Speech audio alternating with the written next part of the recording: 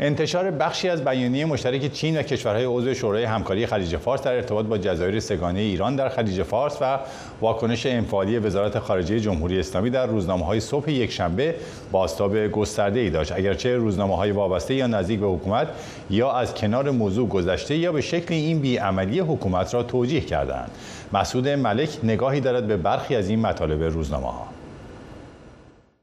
تیتر و مطالب بعضی روزنامه های صبح یکشنبه پیرامون سفر شی جین پینگ به عربستان و بیانی های مشترکی که در جریان این سفر حول محور چالش های منطقه‌ای به ویژه موزگیری چین در قبال جزایر سگانه ایرانی منتشر شده بوی تنه و نارضایتی می‌دهد.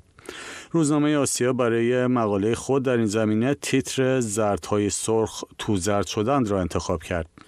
آرمان امروز در مقاله با عنوان رئیسی پاسخ نقض موازنه قدرت را بدهد می نویسد با نزدیکتر شدن چین به عربستان سعودی روابط بین المللی دولت رئیسی که با شعار نگاه به شرق شکل گرفته اکنون وارد فاز جدیدی شده و به نظر می رسد در حد کنونی باقی مانده یا حتی کمتر شود.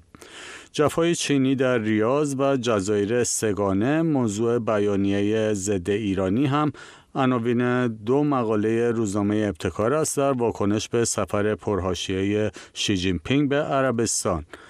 روزنامه جمهوری اسلامی آنچه را موضع بی سابقه چین در حمایت از ادعای امارات درباره جزایر سگانه ایرانی عنوان کرده سرتیتر مطلبی قرار داده که در آن روش زیرکانه عربستان در استفاده از مبادلات تجاری را عامل موثر در متقاعد کردن پکن به موزگیری علیه ایران دانسته.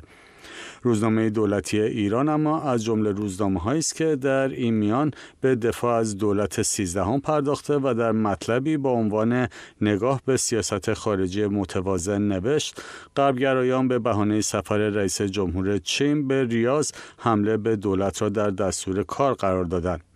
روزنامه کیهان از واکنش به صدور بیانی های ضد ایرانی در سفر آقای شی به عربستان خودداری کرده و در مطلبی با عنوان راز غیبت بنزایه در دیدار بن سلمان و شی جین پینگ به پشت پرده و حاشیه های غیبت شیخ محمد بن زاید رئیس امارات در نشست سران عرب و کشورهای شورای همکاری خلیج فارس پرداخته است.